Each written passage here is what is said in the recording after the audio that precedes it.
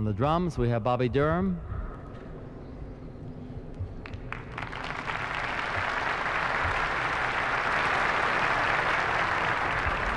On the bass, Sam Jones.